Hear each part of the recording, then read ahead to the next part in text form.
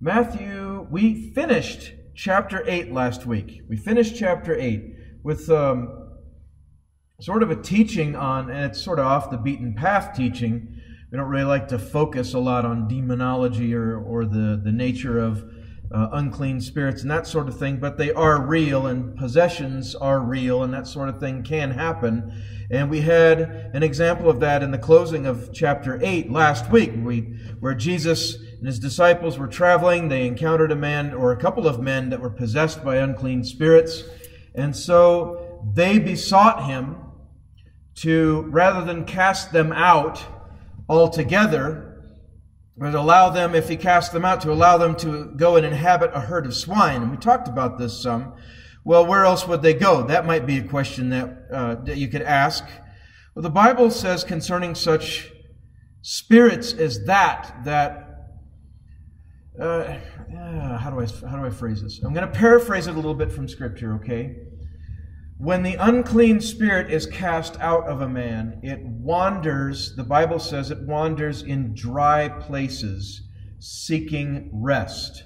Now, doesn't give us much detail as to what exactly it means by dry places, but it sounds like a spirit that has been disembodied, a devil or an, an, an unclean spirit, whatever the case may be, that is disembodied is not in a state of rest.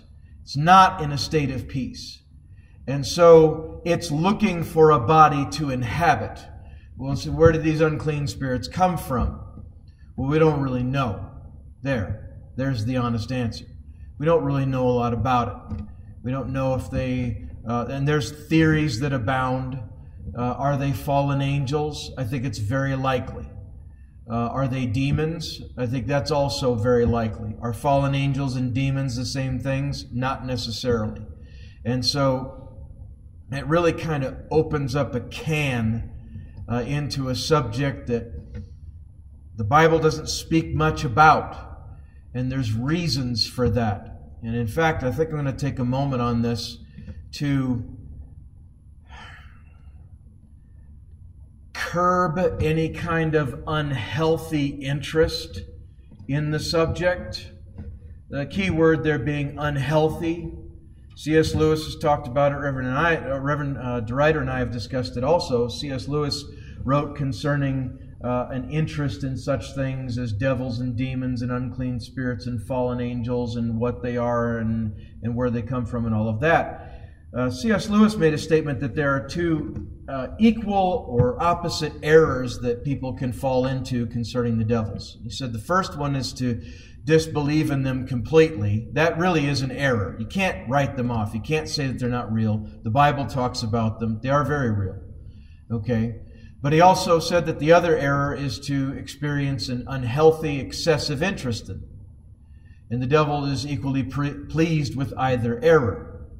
We don't really need to know much about them. Would it be wrong to, to study about them? No, it wouldn't be wrong. But it's just creepy. Doesn't really do you any good. And if you let it lead you down the wrong paths, okay, then we're going to go back to our Star Wars metaphor, all right? And I think that's a very good metaphor. You know, any of this dark side stuff, you start getting too curious about it and peeping too deeply into it, you can really open some doors you can really find yourself opening some doors in your mind that you have a hard time closing. And so it's good to just take the apostles' advice and stay simple concerning such things. It doesn't edify. Does it really help us to live a more godly life if we have a perfect understanding of the origin of demons? It, it, sure doesn't help me. It doesn't help me glorify God or bring glory to the kingdom of God. Now, and I, I don't do any real promoting of, of ignorance, okay? Because knowledge is power, and as knowledge rightly used, well, that could be called wisdom, all right? But some things you just don't really need to know. And there's a reason why the Bible is silent on a lot of it. And I believe, I really believe, that that silence is for our own protection.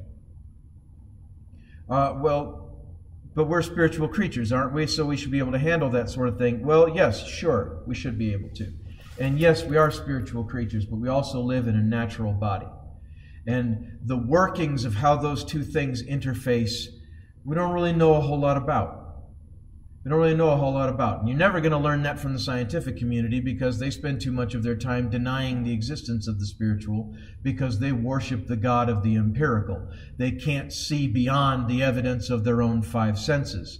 Now, that evidence is good and it's taken us very far and it's brought us a lot of benefits in this life. So we're not anti science, okay?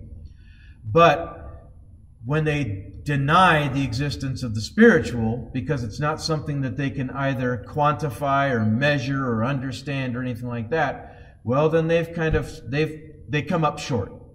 They come up short. So we are spiritual creatures, but we inhabit physical bodies. And we will inhabit these bodies until these bodies wear out and break down and finally give out completely.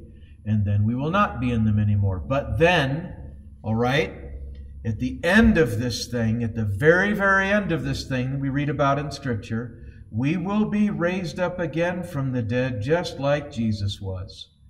That was not just a metaphor for us to experience newness of life in the spiritual sense, but that was also the paving of the way for us to be raised up again from the dead. What happens if my body is destroyed in a fire or I drown at, at sea and my body is lost? And it, none of that matters. God made us to begin with. He can certainly remake us again, just like that, with the same DNA, only glorified, invincible, ageless, and all of the other things that we will experience in the eternal perfect state once sin is gone and the devil is gone and everything is remade, the new heaven the new earth and all of that. This is a rabbit trail, I understand, but it kind of branches out from our concluding teaching from last week.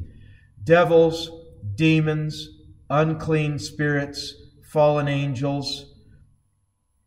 There's some things that are good to know about them, but we don't really have to become experts and we certainly should not obsess. So, what's the difference between a devil and a demon? Well, the word devil, okay, is more of a character description than I think a spiritual one. The word itself, I believe, means slanderer. So when you hear somebody else calling someone else a devil, all right, they're not saying that they're some demon out of the pits of hell. That might be what they're trying to say.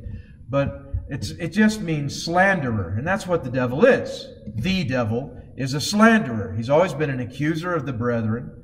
He, uh, that's, that's just, it speaks of his character and so on. Demons are a little bit different. Fallen angels, those are a little bit different. And so on. Maybe we'll cover that in a topical Bible study another time. But in our, in, in our concluding teaching last week, we saw that they inherited, or they inhabited these swine, and the swine were smarter they were smart enough to know that it was better to be dead than to let one of those things live in them. And, well, isn't that a sin? Well, no, they're animals. Animals have no law and therefore no sin. They're animals. They can do whatever they want to do. They live and they die and they're done. And that's the end of the story. So there's nothing really to be extrapolated from that. But moving on from this incident, the people came out from town hearing what had been done, and rather than glorifying God and rejoicing that these two formerly demon possessed men had been delivered, they were upset that they'd lost their herd of swine. Maybe understandably, it's a lot of money. It's a good piece of money there. But that's where their priorities were. Moving on, chapter 9, verse 1 says, And he entered into a ship and passed over and came into his own city. And behold, they brought to him a man sick of the palsy, lying in a bed, or lying on a bed. And Jesus, seeing their faith, said unto the sick of the palsy, Son, be of good cheer, thy sins be forgiven thee. Why did he call him son? Why did he call him son? Well, this was Jesus, who is God, who is the Son of God. And again, you can get into trying to parse out the Trinity and all of that. But Jesus, the Son of God, is still God. And Jesus is the creator of the three. He is the one who made everything that was made. That's covered in another portion of Scripture. So he says, Son, be of good cheer, thy sins be forgiven thee. And behold, certain of the scribes said, said within themselves, This man blasphemeth. And Jesus, knowing their thoughts, said, Wherefore think ye evil in your hearts? For whether is easier to say, Thy sins be forgiven thee, or to say, Arise and walk? But that ye may know that the Son of Man hath power on earth to forgive sins, then saith he to the sick of the palsy, Arise, take up thy bed, and go unto thine house. And he arose and departed to his house, and when the multitude saw it, they marveled and glorified God, which had given such power unto men. All right, so let's take this paragraph right here, verses 1 through 7, this episode. What happened? Jesus came unto his own city. They brought to him a man who was sick of the palsy. Now, whether this palsy was the same kind of palsy we understand that word to mean today, either way, he was debilitated. He was crippled. He could not leave his bed. He was probably all cramped up and couldn't even move his limbs hardly at all. And so that's no way to live. That really is no way to live. That's, that's, that's a profound statement, I know. But they brought them to Jesus. That's a demonstration of faith. They'd heard that Jesus could save, or they'd heard that Jesus could heal, could restore. They'd heard tales about people, or perhaps they'd heard reports by now already of uh, people being lepers being cleansed and the blind receiving sight and so on. So they brought this man to Jesus, and Jesus then, seeing their faith, he says here in verse 2, said unto the sick of the palsy, Son, be of good cheer, thy sins be forgiven thee. Now, wait a second. Wait a second. They didn't bring him to Jesus to get sins forgiven. They brought him to Jesus to be healed of his physical affliction. So why is Jesus, why is Jesus addressing his sins? That might be a question that comes to mind. I think a legitimate question. There's nothing wrong with questioning Scripture. There is something wrong with arguing with it. You know what I'm saying? Because that's just not a lose. That, that's just not a winning fight. That's a losing proposition. Whenever you try to contend with the Word of God because there's something in it that you don't like. But there's nothing wrong with questioning it. Questioning it means you want to understand it better. Amen? So, they bring him to Jesus. Jesus says, Son, be of good cheer. Thy sins be forgiven thee. Could it be that Jesus was addressing the more important problem first? And could it be that Jesus, already detecting what was going on in the hearts of these that were round about them, namely the scribes, and we know about the scribes. The scribes were uh, among the religious sects that acted in a certain capacity. They recorded things, they wrote things down. I think, were they copyists of the law? Perhaps. I don't know if that fell under their umbrella of responsibility. Not much said about the scribes. There's much more said about the Pharisees, but what's said about both groups is not kind. It's not complimentary.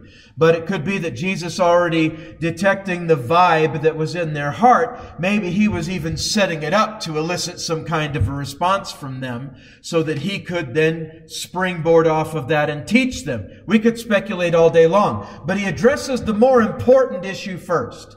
That's not to say that he didn't care about the man's uh, his crippling condition. He did care, and that's proven in the in the verses that follow. But what's more important than that? Sin. Sin is by far the most important because you can be a quadriplegic. You can be a paraplegic. You can be suffering from a terminal illness that's going to eventually end your life. And then get healed of that or get cured of that or something along those lines, but still die and go to hell, ultimately. Healing's important, but what good in the long run is healing if we still die lost?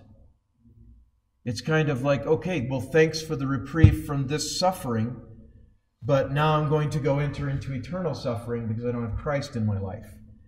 The most important thing, and this is a very important, this is a very important message for the church, the modern church, what, any kind of church at all, okay? Missions of mercy, medical missions, homeless missions, soup kitchens, shelters, things like that. These are all good things. They're all good things. They're all noble things. And they speak of having a compassionate and an empathetic heart towards people that are suffering in this life. But they must always remain secondary, if not even tertiary or further down the chain. They must always remain at least secondary to the gospel message itself. Because that is the primary, you could even call it the sole function of the church, is the gospel the Word of God. The gospel message is a specific message within the Word of God, but you can expand that in a broader context to, to, include the entire Word of God and all that it teaches us. That is the mission of the church. The mission of the church is to reach the lost and to edify and, to edify and perfect the saved. It, when you remember that, it keeps things from getting cloudy. It keeps things from getting blurry in your own understanding. Well, why don't we run soup kitchens, Pastor Snyder? Why don't we reach out to the homeless and have a shelter and all of that? Well, there's lots of reasons. And again, I'm not finding fault with those kinds of missions. I'm not finding fault with them at all. And in ages past, there have been tremendous, tremendous uh, good works accomplished for the kingdom of God in reaching out to the poor and the disfranchised and, and, and, the, and orphans and people that had been neglected by society. So I'm not saying that any of that is bad, and it's all very, very good. But the most important thing remains the gospel because it is the gospel alone. It's not food, it's not shelters, it's not programs, it's none of these things. The only thing that changes the human heart is the gospel. It's the only thing that brings a person from a state of darkness and sin and corruption and a life that is on its way to judgment. It's the only thing that changes the direction of that life. So, other reasons why we don't have those these other types of outreach efforts going on is because one, we don't have the facilities. Two, you have any idea the logistics involved in those things. You got to have a major major, major operation going on to even begin in, to even begin reaching out into those things. And local laws make it very difficult to get involved in anything that involves sheltering the homeless, feeding the hungry, anything. You, you see what I'm saying? And it's getting harder. It used to be 30, 40 years ago, you just we could just prop a tent up out there in the parking lot and reach out to all the homeless folks and say, come on over you know, and then preach the gospel to them and use the one as a vehicle for the other. And again, there's nothing wrong with doing that. But the gospel is the most important thing.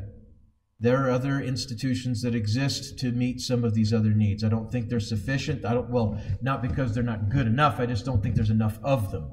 Okay? But what's the mission of the church? Is it to help people pay their electric bills? No. Sometimes that can be done but that's mm-hmm. not the main mission of the church. Is it to help people who need gas money? No. It's, that sort of thing can be done. And we've done that. But it's not the main mission of the church. Son, be of good cheer. Thy sins be forgiven thee. And behold, certain of the scribes said within themselves, they didn't even vocalize this, they were just thinking it in their minds, you know, as opposed to some other part of their body. They were thinking it in their minds. Son, or they said, This man blasphemeth. And Jesus, knowing their thoughts. Well, what's up with that? Well, Jesus is omniscience. That's what's up with that. Jesus is God, the Son of God. And so he knew the thoughts, he knew the hearts of these men. Whether it was because he could read their minds or not, I don't know. Or maybe he could simply read all of the body language that they were portraying. Because people have very readable body language. Many of them do. Most people have terrible poker faces. Most people wear everything that's going on in their life, or many people wear everything that's going on in their life. They wear it on their face, they wear it in their posture, they wear it in, in the tone of voice when they do communicate. And you can read them and you're like, something's going on there. It's a fact. It's a fact. So, but I don't know. I don't know if that was the case here, if Jesus was just reading their body language, or if he actually knew their thoughts. But he says, knowing knowing their thoughts, said, Wherefore think ye evil in your hearts? For whether is easier to say thy sins be forgiven thee, or to say, Arise and walk? But that ye may know that the Son of Man, which is just another name or title for the Son of God, because he's both. He's the Son of Man, particularly through the lineage of David. He's also the Son of God through the miraculous conception of the Holy Ghost, or the immaculate conception of the Holy Ghost. And that's a true doctrine. That's 100% Bible. Jesus was conceived by a virgin and was born by a virgin. Just thought I'd slip that in there to cover that base. but that you may know that the Son of Man hath power on earth to forgive sins. And then he turned to the man who was sick of the palsy, Arise, take up thy bed, and go into thine house. What was he accomplishing here? What was he accomplishing here? He was accomplishing a lot of things. He was showing mercy on a man who was afflicted so badly he couldn't even get out of his own bed and live his life. So there's mercy and compassion there. And he was educating a pack of fault finders, the scribes, who are finding fault with Jesus in their heart, judging him in their heart, and judging him wrongly in their heart. He was accomplishing, he's killing two birds with one stone. So he heals a man to prove the point that he has both the authority to forgive people of sins because God can do that and to show that he has power over the flesh to heal of afflictions. The greater lesson here is that Jesus had all authority both to forgive sins, to heal afflicted bodies, and his language here almost seems to connect the two. And not just here, but it's elsewhere. It's connected elsewhere in Scripture. That if a person experiences healing, a miraculous healing of their illness or of their disease or of their affliction, it is an evidence that they have been forgiven of their sins. Are we making that click? Okay, well then what if I'm afflicted and I'm not healed of my sins? Does it or I'm not healed of my affliction? Does that mean that I'm not forgiven of my sins? No, the connection doesn't work both ways. Because there have been lots of people that have been Jesus had Jesus forgave this man of his sins before he healed him of his palsy. The one is evidence of the other, but not the other way around. Does that make sense? Does that make sense? So a person can be forgiven of their sins, but still have to deal with a certain challenge in their life, whatever that might be. And sometimes it's a very grievous challenge. We have a friend back east for years. Was it is it multiple sclerosis? This uh, one a pastor for many years in our organization had been suffering from multiple sclerosis, walking with crutches, uh, walking with the aid of his wife, just trying to function, dealing with pain, the likes of which most of us have probably never had, physical pain and yet absolutely dedicated to the gospel of Jesus Christ. And I remember once, uh, many years ago, Pastor Davis sharing a letter from him in a class that he was teaching. Um, it kind of dealt with some of the challenges that he was dealing with and describing describing how he was reacting to the pain. James chapter 5, that's where that other verse is. You know what, let's let's turn to that really quick. Is any sick among you? Let him call for the elders of the church, and let them pray over him, anointing him with oil in the name of the Lord. And the prayer of faith shall save the sick, and the Lord shall raise him up. And if he have committed sins, they shall be forgiven him. That's the key to those two verses right there. So if a person is sick, and they've prayed for healing, and others have prayed for healing, or however, it doesn't matter if others have prayed for healing. If that person experiences healing according to their prayer, then it's an evidence that if they'd had an, that if they had sins at that point, that those sins have been forgiven. It's an act of mercy. It's an act of mercy. And that's what a loving God does. But anyway, we rabbit trailed on that story about the pastor, but the pain that he experienced as a result of his disease, the way that he reacted to it was he allowed it to draw him closer to God. And he was very plain about that in his language also. Because with that kind of pain, the flesh really is kind of crucified and uh, isn't really thinking about carnal and fleshly appetites. It just doesn't want to hurt anymore. Now, does that mean that pain makes a person holy? No. Okay, and uh, we, we are not of those. Uh, we are not of those people that deliberately afflict ourselves physically because we think it brings us closer to God. That really doesn't glorify God. But if things happen to come our way, then why not let it draw us closer to God? I mean, it's a whole lot better than the alternative, letting it letting it get us angry at God, or letting it get us angry at God and and shake our fist at Him. It's just that's just not a good way to go. So Jesus' omniscience and Jesus' omnipotence are what are demonstrated in this episode of scripture here. He had the authority to heal sickness. He had the authority to forgive sins. And so he did both. And he did it in the sight of the fault finders so that they would see and that they would know something's going on here that is above what they were thinking. So he says to him, arise, take up thy bed and go into, go into thine house. And he arose and departed to his house. But when the multitude saw it, they marveled and glorified God. All right, well, this is a whole different attitude than the people that own the swine. This is how the people that own the pigs should have, this is how they should have responded. They glorified God. They marveled and glorified God, which had given such power unto men. Verse 9, next paragraph. And as Jesus passed forth from thence, he saw a man named Matthew sitting at the receipt of custom. And he saith unto him, Follow me. And he arose and followed him. There's a lesson in that. Jesus is influential if we let him be influential. I always, I've always marveled at that and, and in other parts of the scripture when Jesus picked out his, uh, his core disciples, the ones who would be the apostles, and he just walked past and you saw the fishermen on the shore, John and James, Simon and Andrew, and they're mending their nets, and he just walked by and said, Follow me, and I'll make you fishers of men. And they just like dropped their nets that instant and got up and followed Jesus. You want to talk about a Jedi mind trick? Well, it was a lot better than that because that's messing with someone's head, and Jesus wasn't doing that. Jesus was just saying, Follow me. And we do well to respond the same way. We really do. Verse 10, next paragraph. And it came to pass as Jesus sat at meat in the house, behold, many publicans and sinners came to sat down to, and sat down with him and his disciples. And when the Pharisees saw it, they said unto his disciples, Why eateth your master with publicans and sinners? More fault finders. You know, why couldn't these guys back Jesus up? Have you ever asked yourself that?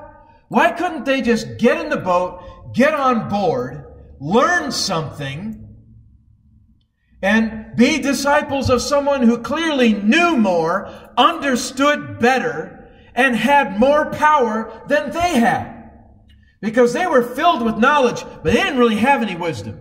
And they had absolutely no power at all.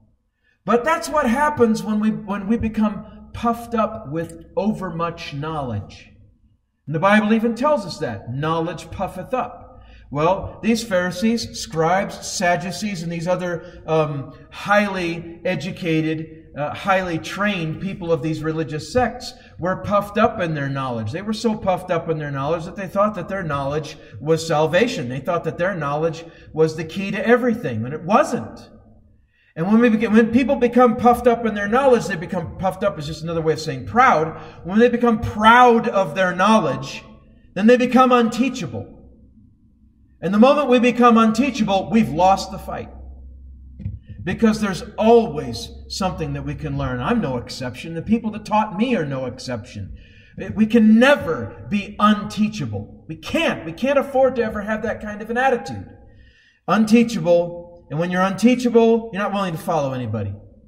Or if you are, it's not for the right reasons. It's not for the right reasons. So here they are, fault finding, which is what proud people do, thinking that they know everything. And there are people that come to church like that, usually from other churches. Usually from other churches. And they come into they come into the church house and, and they want to oh, I understand if they're a brother or sister in Christ, they want to be known that they're a brother and sister in Christ. There's nothing wrong with that. I would want to be uh, I would want it known if I was visiting a church or going to a church for the first time and I have already received Christ as my Savior. I would want them to understand, hey, I'm one of you. I'm of the same spirit. Let me worship with you guys. Right? But then what happens when the preacher gets up and teaches something that's new?